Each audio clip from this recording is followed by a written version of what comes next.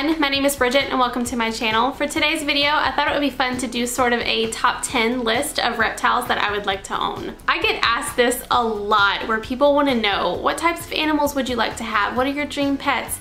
So I thought it would be fun to kind of break it down in a little bit of categories. I've seen other people do this as well, where I talk about some reptiles that I think are super awesome that I would love to own and share that with you guys. This is definitely a dream list. There are a few on there that I can say with confidence that we will get someday, but I don't know if all of them were gonna make the cut in our lives. So now I'm just gonna get started talking about the top 10 reptiles that I would like to own. So to start off with number 10, this is a draw between two different snakes. Uh, I don't think that I want both of them, but I would like either of them, and that is a children's python or a carpet python. These are two very different snakes with two very different sizes, obviously, and also two different attitudes. but I don't know, I put them in kind of a similar category with each other. I don't know why, I know they're completely different snakes, but I love the carpet pythons because of how, I mean, they're, they're gorgeous, they're interesting snakes. I love to watch them climb around. They're a big snake in length, but you still don't have like a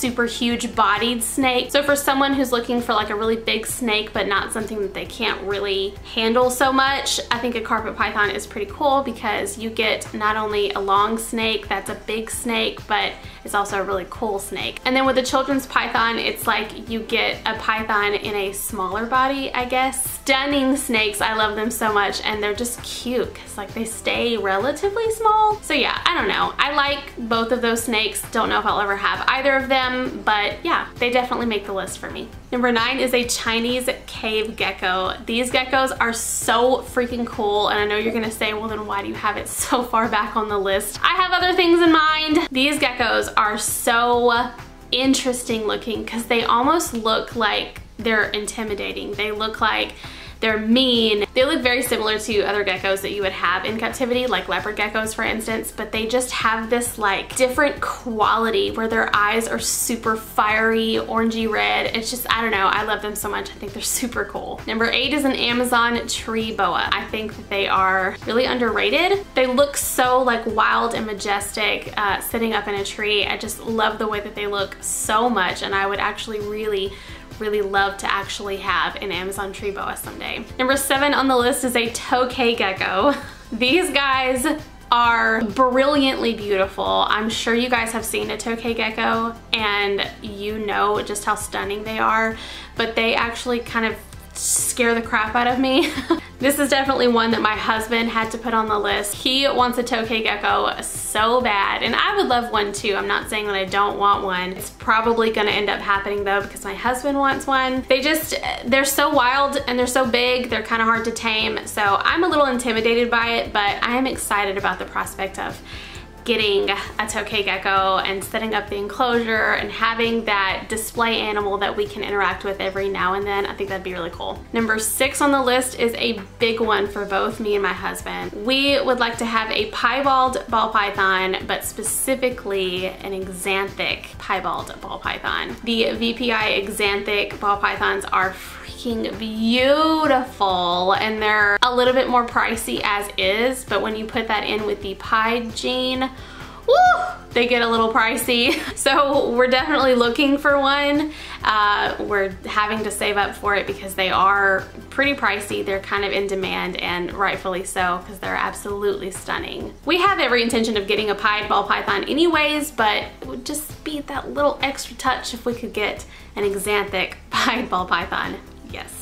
Number five on the list is another one that's big for my husband and that is a green tree python. Now I kind of go back and forth between wanting a green tree python or an emerald tree boa. Personally, I don't have more of a liking to either of them. I just know that for me personally, I really want a beautiful bright green vibrant tree snake and those definitely hit the mark on both of those but more along the lines of getting a green tree python versus an emerald tree boa because my husband really really wants a green tree python and I do too. So I think that's definitely another one that we will probably end up with someday, but we'll just see how it goes. Number four on the list, and I can confidently say this is one that we will get, it is an African fat tail gecko. They're very similar to leopard geckos. We have two leopard geckos already that we absolutely love, but I love the African fat tails so much. They just look like more cuddly versions of a leopard gecko, if that makes sense. They're just kind of like, I don't know, they look squishy.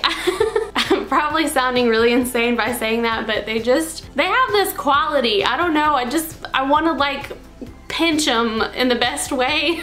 Number three is another one that we will probably definitely get, and that is a Brazilian rainbow boa. These little creatures are all over the place. Everyone wants one, and rightfully so, because they are magnificent. The fact that something can look like that in the wild it blows my mind. That's not a morph. That's not any special traits or anything. That's just them. They're just, oh, they're stunning and we definitely want one someday. Like we have names picked out and everything. we love Brazilian rainbow boas. I don't know when we would get one, but it's probably gonna happen for us. Number two on the list makes me cry almost when I think about it because this is such a dream snake for me and they are insanely difficult to find and they're so high in demand right now. Everyone is looking for one. So just the thought of actually getting one kind of feels far away. It feels very unattainable, but we will see what our future holds, and that is a Dumeril's boa. I'm sure a lot of you guys are watching this right now and you're like, oh yeah, girl, me too, I want a Dumeril's.